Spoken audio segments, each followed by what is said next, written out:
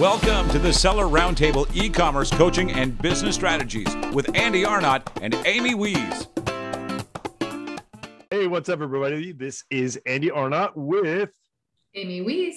And this is Seller Roundtable number 116. We have Chris McCabe on today. Chris, thank you so much for being on. Thank you so much for having me back.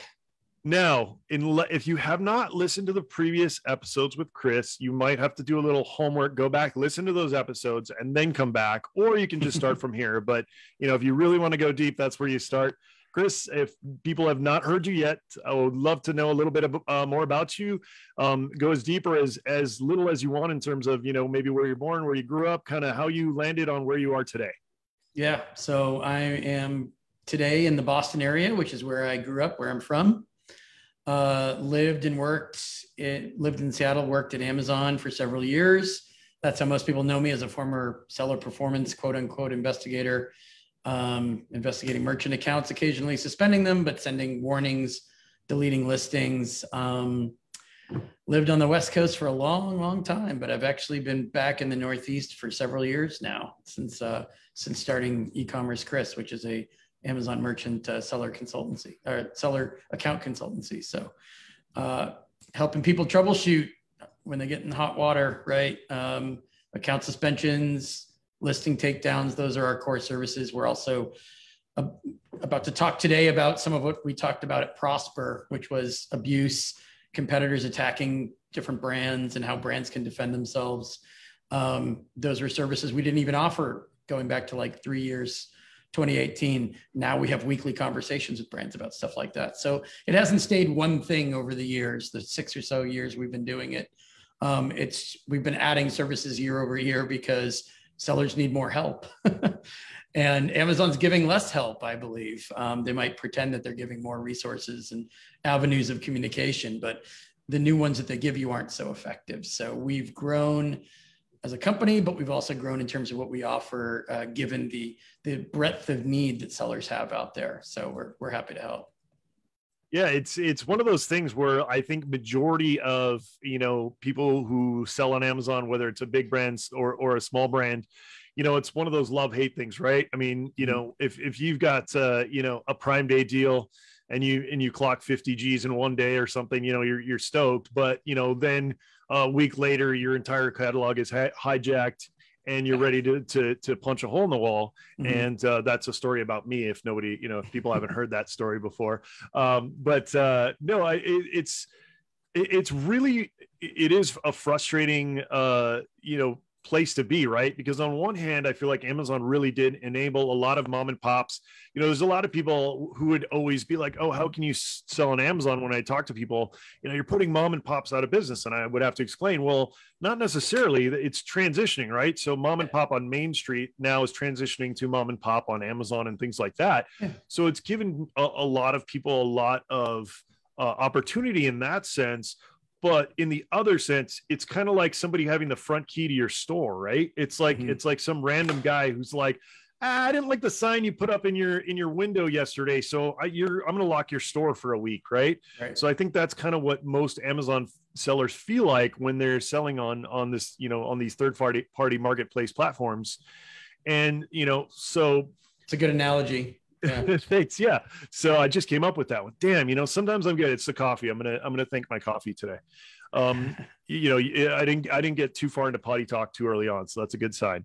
Um, so on that kind of on that theme, uh, you know, how did you how did you you know decide that you were going to go work for Amazon and kind of what have you seen how have you seen the progression from when you kind of first started in e-commerce and on amazon you know working for amazon and then where we are today? Do you think it's getting better? You, is it getting worse? Is it changing? Uh, kind of what what did that journey look like? I mean the marketplace was a lot smaller when i was working there. We saw it growing. Um, my biggest interest was how will this change how people buy things and how they relate to another business. They're not walking in through a door. They're not doing just brick and mortar. They're buying things online. So at the time, I wasn't so much thinking about myself helping out these small e-commerce businesses survive or grow or manage their relationship with a company like Amazon. That was the furthest thing from my mind. Um, I just like the idea of buyers and sellers meeting in one place, looking at prices, looking at offerings, deciding who had the best product, being able to, you know, give feedback or rate the product. It was all kind of innocent in those days. The, you know, the attacks and the abuse and the fake reviews and fake negative feedback, that that was all kind of a distant problem in those days. Um, I just like the idea of buyers and sellers getting together in one place online and interacting. And I was part of the fraud investigation crew that was making sure buyers felt safe.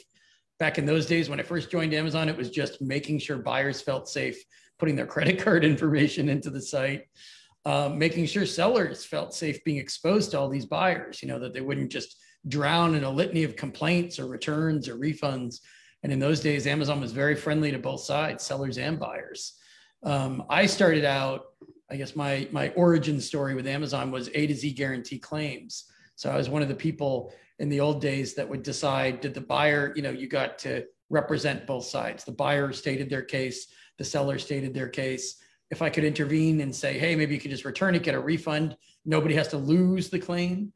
Um, but in in those scenarios, you wanted both sides to walk away happy and more likely to use Amazon in the future. So I wasn't just hitting sellers left and right like you lose this claim you lose this claim over and over sometimes amazon in those days was paying for the claim themselves especially if it was a lower dollar amount just to reassure both sides that this was safe it was effective you should come back you should keep doing this more and more right those are the days just trying to install the faith in people's heads um, later it became more of an issue of like sellers having trouble defending claims and by then i was long gone i was in the merchant investigation team merchant risk um, so as time went on, more sellers coming in, growth, um, you started to see how those small businesses were adapting to how Amazon does things. It wasn't just a series of emails I would read every day, like, I've been in business for 10 years. Don't you guys tell me how it works?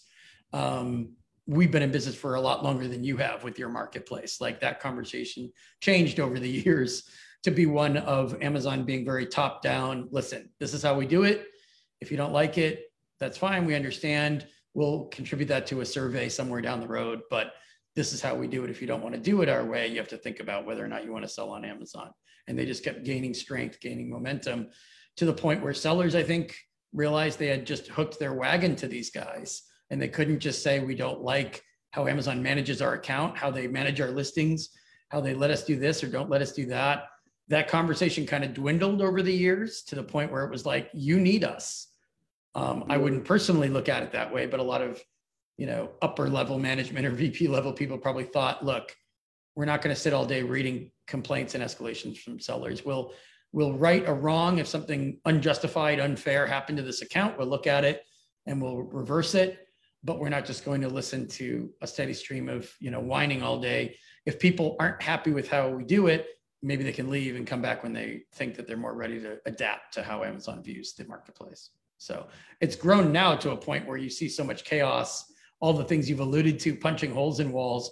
A lot of that is just Amazon's inability to scale appropriately and inability to manage their own marketplace. And I'm sure they just had a lot of confidence in themselves. They had high hopes, big dreams, but they didn't really understand the, the variety of challenges that would come with having three to five million sellers globally, all these different regions, all these different products, all these different problems on their side. You know, never mind the problems that sellers have that they complain to Amazon about. Things that Amazon doesn't even want to do to you as a seller that they're doing anyway. Some of those things they don't even they don't even believe that they should be doing those things to you, but they can't control themselves. They can't keep a handle on it, keep a lid on it. And that's what a lot of people are frustrated with these days because, you know, long story short, keep in mind Amazon internal teams have trouble communicating with each other about what needs to happen sometimes even about whose job it is to fix something. That's what a lot of the ticket ticketing system and escalations and appeals are about. Like this isn't mine, this is yours. No, it isn't. It's yours. So if they can't communicate with each other, how are they going to communicate effectively with you? Yeah, and it's yeah. interesting because you know there's a big push on on the Amazon side, which I get as a as a technologist. Uh, you know, I, I and and you know I've been digging a lot more into AI.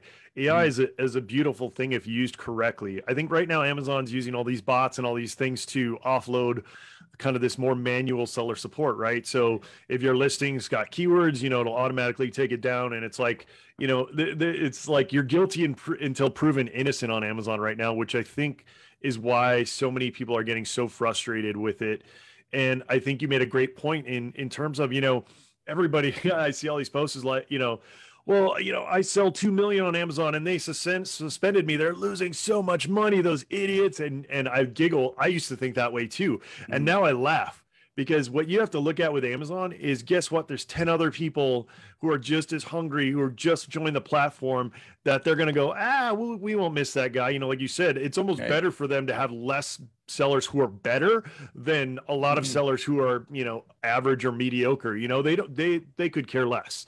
And you know, they know they're losing that money. By the way, this is not a mystery to them. They know that yeah. they're losing it. They know how to read a balance sheet. The problem is they're making too much money elsewhere in the company, exactly. or they're making they're making so much money from other sellers with their yep. percentage of growth every month and every year that they're not noticing what they're losing from your commissions. Eh, yeah, absolutely. I agree. I think, you know, on the line item, it looks bad, but at the bottom of the sheet, they, it still looks good. It, it yeah. the, the, the bottom line doesn't change for them. So, you know, it's hard though because you have to kind of take your uh, you know take yourself back from that and go okay so if amazon doesn't care about me because so many people try to like go to amazon to fix the issue right? Mm-hmm. and what people have to realize is there's nobody there that's going to fix the issue except for yourself right? It's one of those things where the, the the, the old adage squeaky wheel gets the grease right? Yeah. When it comes to amazon that's completely 100% true all the times that I've stayed on my tickets, I, you know, communicated over and over mm-hmm. and over again. And, you know, as asked to be transferred to a different team if it was not the right team, et cetera. Mm-hmm. You have to realize that just sitting back and taking it is not going to work on Amazon, especially not in, anymore with the AI bots and things like that. Um, but to transition to something a little bit differently. So if everybody's been watching the news lately, the, the, the, the COVID pandemonium is back you know the, the terror is back. And so you know how do you think this this kind of second round which you know you can kind of see the writing on the wall already how do you think you know it's already one, one of the things that we saw in the first round is a huge adoption to e-commerce right? It was kind of mm-hmm. you had to you know it was all these mom and pop stores on main street now had to get onto amazon or some of these other platforms to stay in business to try to supplement their income for their closed storefronts. Right um, you know, do you what do you see as you know? Do you see anything changing uh, this the second time around when when some of these things start going into place? Do you think there's going to be more pushback? Um, you know, what's your guess on all this? I mean, we'll have to chart the progress or lack thereof of this Delta variant to see if people buy even more online than they did last year. I mean, I haven't reviewed enough data of this year versus last year to know, but it's kind of scary that there's been a surge and an uptick of cases and people are you know kind of going out again but also a little bit reluctant to go back to shopping in stores so much. I mean a lot of the behavioral changes have stuck and people that were buying online more last year bought even more online this year and they haven't gone back to not to whatever retail store visiting they were doing so much because it's still kind of shaking out. The the problem is i mean even if the big picture is you're going to be selling way more online than you ever did before and way more on amazon next year than you did three years ago.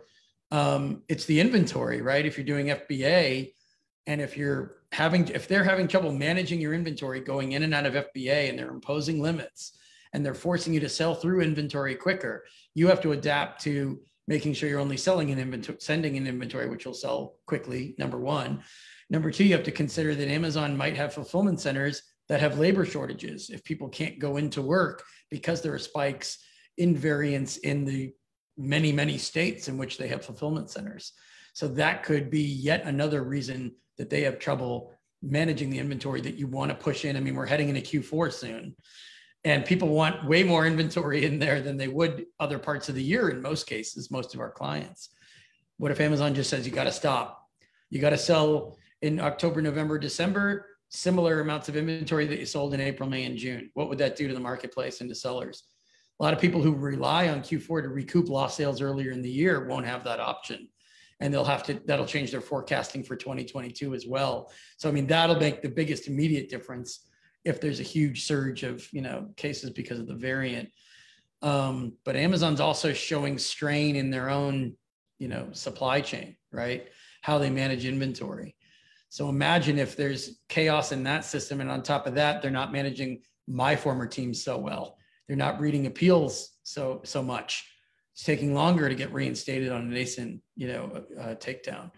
Account suspensions, right? Your inventory is frozen, your funds are frozen, and you're not making new money with new sales. But you're dealing with Amazon at Q4 at a time where their communication's even more delayed, at a time where there's already chaos in the system. I mean, they're taking a long time to reply to appeals right now, and they have been for months. What's it going to be like in Q4?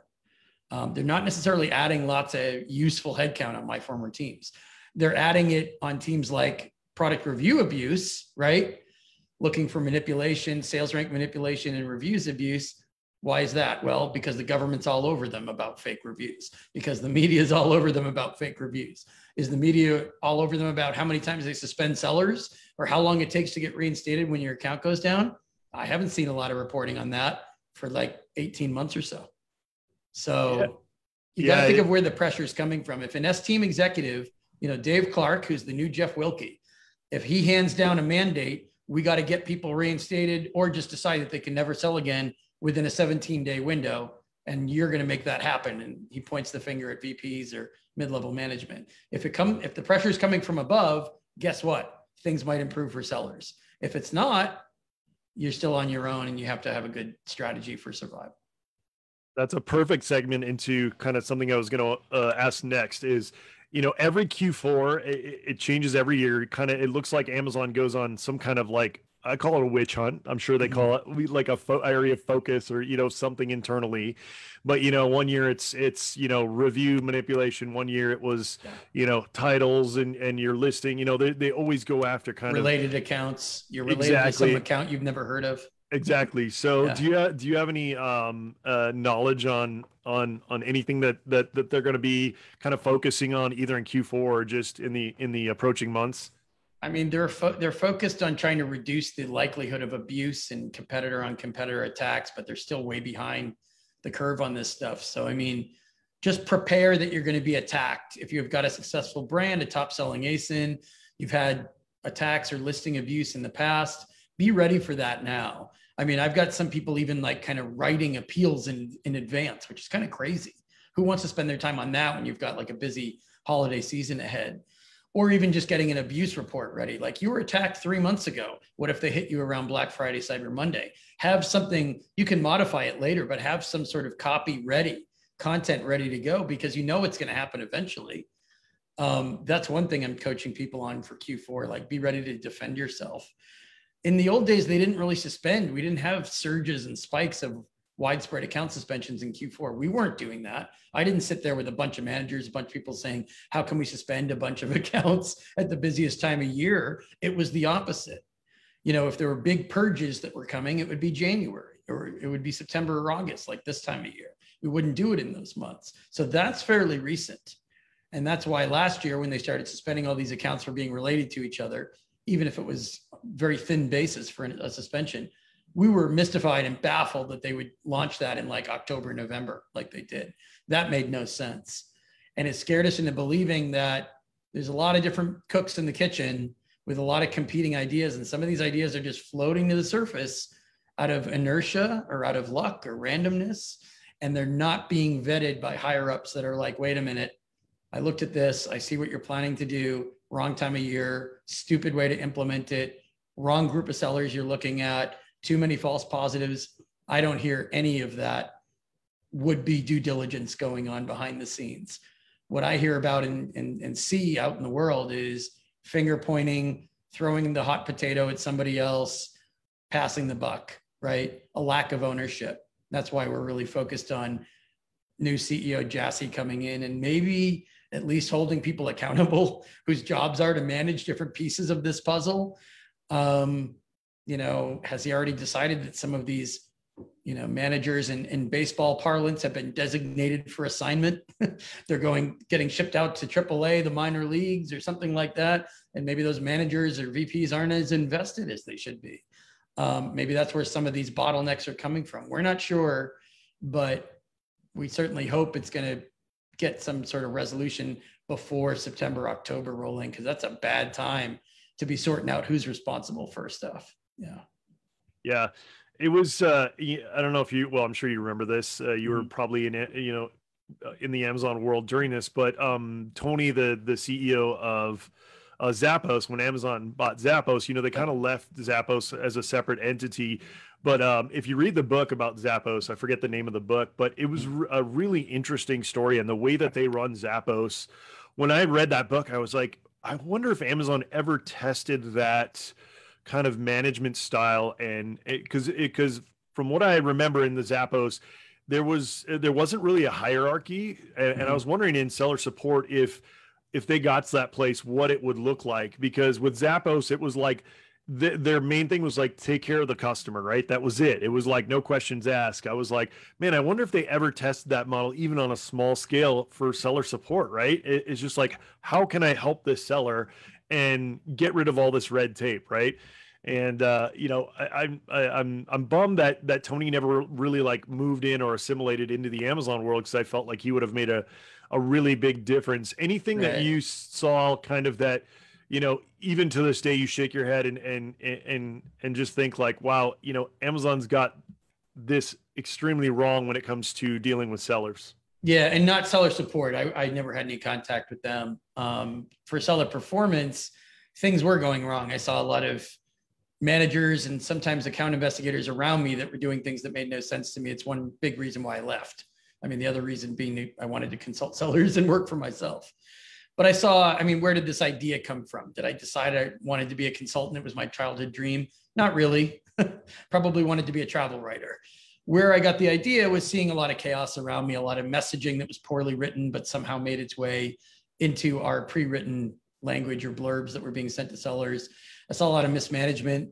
Um, they had ways in those days of auditing investigation quality. I saw a lot of bad auditing going on around us um, and a lot of poor management. You know, people that I thought would last a month at the company somehow lasted years, and I didn't understand.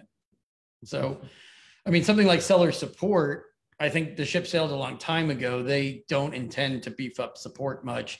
That's going to be a very weak system for communicating. It's going to be a lot of low level employ- employees, a lot of rotating door, a lot of bad training, and a lot of copy and paste responses. That's never going to really improve.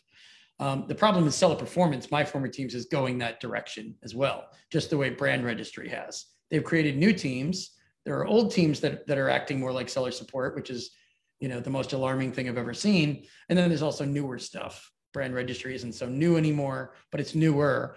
Brand registries become a mechanism for copy and paste. No, no problem solving, no troubleshooting, just you know, standardized messaging that doesn't actually say anything. It's so murky and so opaque that they're almost better off not responding to you at all versus responding. So in terms of, you know, a hierarchy of who's accountable, who's responsible, in theory, those managers that used to manage my teams are supposed to whoever's in there now is supposed to be respond or reporting to their direct directly reporting to VP level people. Those VPs are reporting to senior VPs, of which there's a smaller number, right? There's hundreds of VPs, fewer senior VPs um, those senior VPs are in charge of that area chunk of the marketplace. They're supposed to, if they're high up enough, be reporting to S team executives. So unfortunately, that's where a lot of escalations have to go to get any notice that something's going wrong. But are they willing to admit? The first step is admitting that you have a problem, right? are they willing to admit, or are they just going to continue to deflect and say, well, this is a one-off. Sure, sure, this one was handled badly, but how many of these could there be? Or we've only seen a few of these. I think some of the higher ups think that way and they view it that way, but they're only going based on the limited number they're exposed to. So I think whether it's senior VPs or even S team level executives are shielded to a certain extent. Um, I'm hearing some interesting rumblings that a lot of sellers are going back to Twitter, which is where you used to get a lot of attention, and they're tweeting at people like Dave Clark or tweeting at um, different senior, higher level executives um, back into social media, which Amazon used to actually have certain seller performance investigators who are responsible for policing and patrolling complaints on social media. Then they kind of went back to ignoring it, right? That's like cyclical. I think it's rotating back around to actually you can start getting somebody's attention who seems to care at least that you're reaching out publicly even if they haven't seen your escalation or don't know the details of your particular case. Yeah, that's a good point. I've I learned a few years ago uh, that LinkedIn is a super powerful place to, you know, because you can track down VP level, mm-hmm. you know, Amazon people, and you know, I've built quite a large connection uh, network of Amazon employees on LinkedIn, and when I have issues, they all get you know message bombed like. hey, right. this is a major issue, and you know some of them respond, some don't. What's funny yeah. is on the higher level um, positions on Amazon, the US based people almost never respond, but the overseas people, mm-hmm. uh, you know, I've gotten like people from Europe, people from, um, trying to think of some of the others, you know, kind of places that well, I was like, Australia. Oh, yeah, yeah, Australia, Spain. I think I, I have had mm-hmm. some some like a uh, higher level, and then get back to me, and they actually say, "Hey, I'll look into it for you and stuff." And um, that was interesting that you know the the U.S. people just kind of ignored it. So um, yeah, yeah, it's, that's it's, not it's, surprising. Overseas yeah. employees sometimes go the distance to make themselves useful or even appear useful. Um, yeah. Sometimes they're looking for other opportunities because they're not sure the job they're in is going to last. Yeah, it's interesting. So, um, like today, like you know, recently, kind of what are what are the biggest issues that you're dealing with when when people come to you for help? Is it suspensions? Is it yeah. ASINs suppressed? Like, kind of what's the major issue right now, and what do you see? uh, what's the kind of most common thing that are causing some of these issues? I mean, account suspensions are a constant, and that's one reason why it's our core service. I mean, listing takedowns, asins suspend appeals for reinstatement and suspensions are a core service as well because listings are just more likely to go down for not much of a reason at this point. Either a stray buyer complaint could take your listing down, a competitor attack could take your listing down, an Amazon technical issue could take your listings down. I mean, there's 10 reasons now. It could be your top selling ASIN. It could be your only ASIN, right? There's a multitude of reasons why you could be, you know, losing, dripping, you know, revenue here and there on multiple ASINs. Let's say you sell 10 products. Four or five of them could intermittently have problems that are causing that drip, drip, drip of lost revenue. So you might never have an account suspension.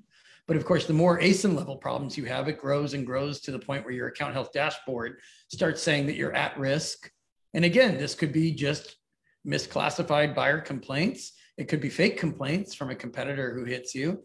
It could be poor appealing on your side. I mean, I guess one way to answer your question is I'm kind of troubled at the number of sellers who insist they can handle this stuff themselves. I know that sounds admittedly a bit self promoting, but there are too many sellers coming to us too late in the game who are submitting four and five appeals before they even knock on our door. I would argue it's fine to do that but understand that you might cross a point of no return and say to yourself, I'm not going to call out for help later. I'm in it for the long haul. I'm either going to sort this out myself or I'm going to abandon this ASIN and pull the inventory out. Don't halfway it. Don't tell yourself I'm going to be stuck and stuck and stuck and stuck to the point where Amazon doesn't respond to me. And then I'm going to call Chris, right? Because yeah. I'm going to level with you very bluntly and directly. You should have called me a long time ago. I could have sold, saved you $48,000 on this lost revenue, you were reluctant I, to come to us.